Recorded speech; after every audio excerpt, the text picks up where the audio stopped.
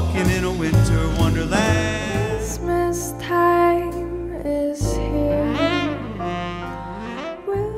Let it snow.